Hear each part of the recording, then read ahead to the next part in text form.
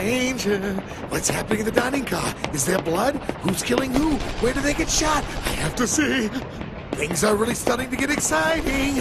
Yes, yes, yes, yes, yes, yes, yes, yes, yes, yes! Playful puppy dog nature aside, it speaks volumes of Ladd that in a series chock full of immortal, super-powered gangsters, he's the one you'd least like to meet in Dark Alleyway.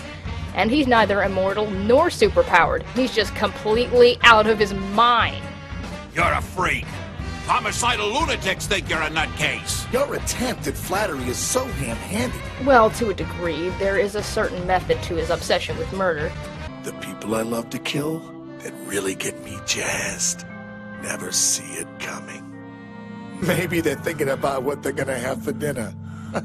Just like you were, right before I walked in. I'm tempted to say that out of any character on the list, Ladd most epitomizes the kind of villain I was looking for when I made it. But the one part of the deliciously evil master that he's missing is, well, brains. Which explains his placement at number 5 instead. So his cranium may be full of rocks, and he prefers mayhem on a whim to evil plotting, but save that, he could not be more horrifyingly wicked or unbelievably fun. Yeah! Go, lad, go! Wait, wait. Oh, screw it. Yeah! Some psychopaths who live to kill do it because they don't know who they are or what they want, and they go crazy from the confusion. Ladd knows exactly who he is and what he wants. He likes killing people, so he surrounds himself with confidants that have the same interests and goes to town ransacking a train. No special reason. I mean, he makes one up, but it's so ridiculous that I've long forgotten what it really was. Even though we are gonna shatter dozens of lives inside a crowded train, wearing white is gonna make the blood look so pretty. He finds sadism arousing, so he falls in love with, of course, a masochist. Great idea, why not? Apart from his love for his fiancée, he doesn't seem to have any redeeming qualities whatsoever, so why is he so incredibly lovable, I wonder? It defies all logic, but, well, so does Ladd. Makes sense, right? No, that's right! He doesn't take anything personally, and he doesn't care about pulling jobs for money. It's all about the fun, and in a way, there's something admirable about that. I don't know what it is, but it's there. Why else would this yield applause? Too bad. You were so close, but you couldn't figure out how to talk to me after all. What? I can't let a look like yours go unanswered. You're just so sure I'm not gonna do this. Hooray! You show that small child. Sadly, Ladd's lack of foresight is his downfall when faced with the Transcontinental's guardian monstrosity, the Rail Tracer, who kills all of his men and then outsmarts him into throwing himself off the train, sparing the passengers from any more of Ladd's idea of a good time. The party was good while it lasted, but Ladd being Ladd, it's a lot more fun to watch than get a personal invitation. "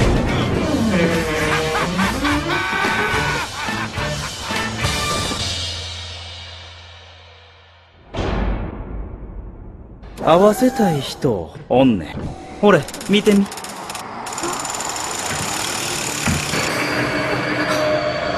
アイゼン・ソスケ from Bleach.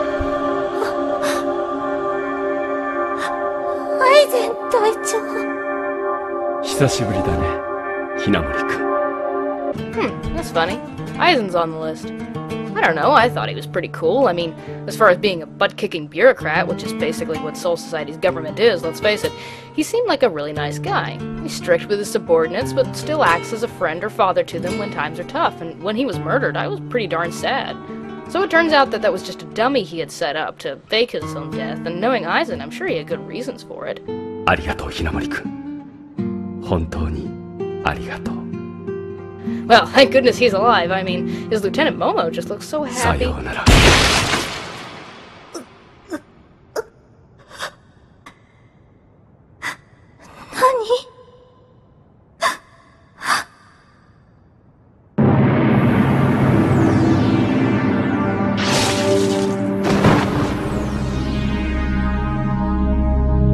何行くぞ銀はいアイゼン隊長 What? Aizen must die. Yeah, I'm not fooling anyone, am I? Many of you are further along in Bleach than I will ever be, and know darn well that Captain Aizen is a horrible, corrupted Shinigami whose massive ego has long ago eaten away whatever was left of his heart. 自分に憧れを抱く人間ほど御しやすいものはない憧れは理解から最も遠い感情だよ He's also an excellent actor, making the revelation of his true design so hard to accept that they take episodes to reveal in full. But far from being boring, they're possibly the best episodes in the entire show. Aizen's been lying through his kind, diplomatic smile since the early days, when he spent his time on experiments to turn Shinigami into hollows as a superpowered hybrid, getting Kisuke framed and exiled for it. After that, he turned several of the captains to his side and used their help and the powers of his Zanpakuto over and over and over again to fool all of the other characters and the audience into thinking he was dead while he took up a seat in the Hollows Kingdom of Hueco Mundo and gathered his army of Arrancar for the mounting coup now coming to fruition, wherein he will master the powers of a Hollow and rule Soul Society with absolute omnipotence. Just. wow. Of course, revealing your whole evil plan to the hero is never a good idea, because now Ichigo can unleash his massive Bankai and maybe give Aizen a paper cut. Yeah, Bleach fans, be afraid. Be very afraid. Aizen is the only villain on this list or in recent memory at all who has no setbacks, no weaknesses, and has yet to see even a smidgen of karma for any of the vast multitude of sins he has committed. Not to mention, you just have to hate how cool he is about it. I know good is always supposed to triumph in shonen, but if things continue to go like they've been going for hundreds of episodes, I'd definitely be fearing this Reaper and his unwavering smile. Let's see you try and talk your way out of this one. If you can. Light Yagami from Death Note.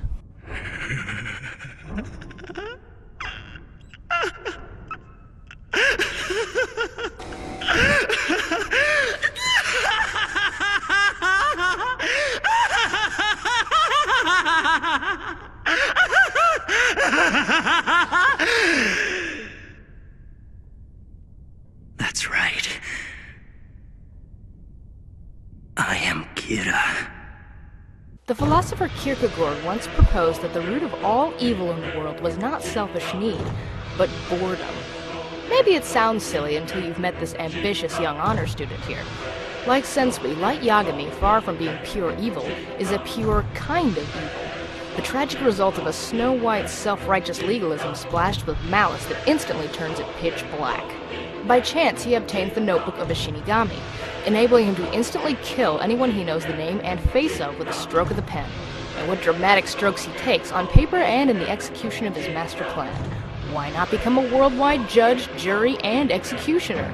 In the information age, Light can effortlessly search for the names and faces of every criminal on Earth and eradicate all bad people from the world.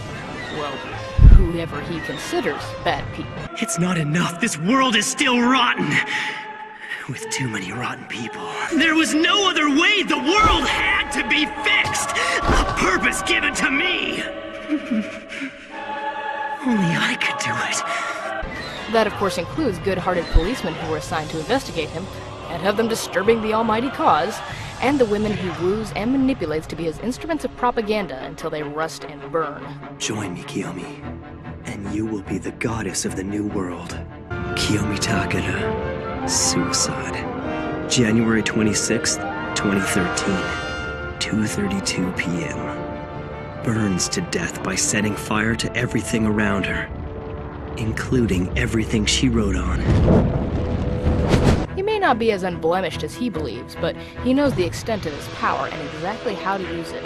Let's face it, he's just smarter and more attractive than anyone else. He works fast and efficiently, and the snake is a fantastic liar. If the villain is a snappy dresser with a silver tongue and the good guy is a greasy gnome with poor people skills, who are you gonna believe, right? I mean, he makes this look good. I'll take a potato chip and eat it. That astonishing charisma is the scariest thing about Kira. Not only does he have the people of his world completely fooled, he's got a frightful number of people in the real world enamored with him too. Hunt out a den of Death Note fanatics and you'll hear remarks like, Light's an anti-hero, and he had good intentions, and he really deserves to win. The greatest defense for this dictator worship seems to be that Light was a good person who was misled by the Death Note, which was truly the evil instrument that possessed him. I've got news for you, Kira clan members. For people that love him, you give him far too little credit. Anyone calling themselves God in episode 1 of anything has their heart in entirely the wrong place. And I? I will become the god of this new world. In the end, the Death Note is just a book, and Light? You yielded to the power of the Shinigami in the notebook, and you have confused yourself with a god. In the end, you're nothing more than a crazy serial killer. That's all you are. Nothing more and nothing less. Light's fall from power that turns the arrogant idol into a slobbering infant. Matsuda, you idiot! Who the hell do you think you're shooting at? I know you understand, so kill the others! Shoot them!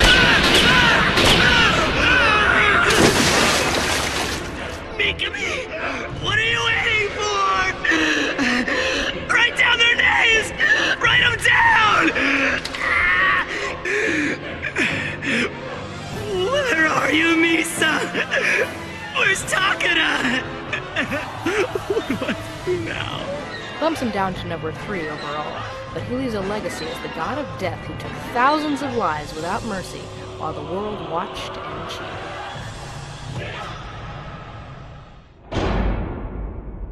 Hey, mister! Oh, Over here! Look at him!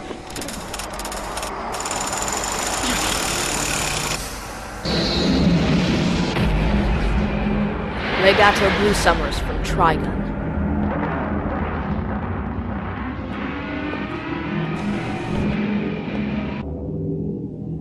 Found you. Vash the Stampede. Three little words I know I gotta address. Why not Knives? I mean, Knives is the mastermind. Knives is Legato's master. He owns him, tells him what to do, and gosh darn it, Legato does it. Well, Knives may own Legato, but Legato's not his slave. On the contrary, he needs him to survive. Legato runs the regeneration plant, hires the other guns and manages their talents, and he's happy to do it of his own free will. This in itself makes him far more evil. Knives wants humanity exterminated because they scare him. He's not human, and humans have mistreated him. Legato is a whole new box of donuts.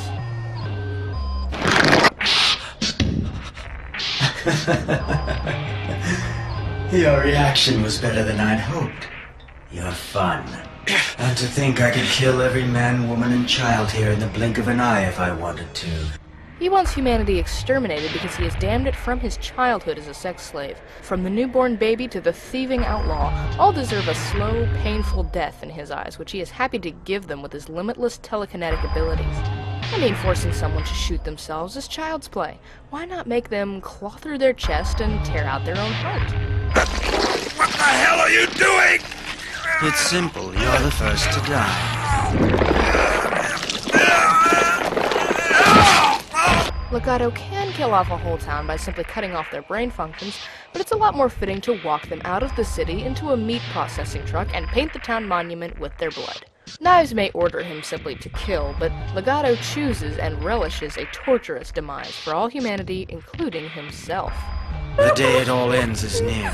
I advise you to make good use of the time you have left. No one else comes close to Legato's breadth of influence and depth of depravity. He holds absolute power, and far from being heartless like Vicious or Aizen, he is passionate with the desire to kill, mutilate, and in regards to Vash, devastate for all eternity. Vash has faced dozens of horrible men in the past and never batted an eyelash, beating them with his impeccable superpowers and finding the good in them to turn the worst of men into heroes. But one look at Legato absolutely terrifies him. There is no weakness in his cold yellow eyes, and he can't be stopped from killing hundreds of people, from Vash's friends to his own allies, and some that rest in between, in a game to break Vash's spirit and send him crawling back to Knives. A task made easier by his constant presence inside Vash's mind. I decided to do this as my humble way of exhibiting grief for the loss of a good friend. How'd I do? You again. Damn you! Are you going to draw? You seem to think you've never killed anyone, but I'm afraid you're very sadly mistaken. You've killed countless people, including the Gung Ho Guns and your friend, Nicholas D. Wolfwood. I was forced to do that! I had no choice! Vash may be a Superman, but ultimately Legato wins their battle in the most twisted way possible, dying by Vash's own hand. Rem Saverem. a worthless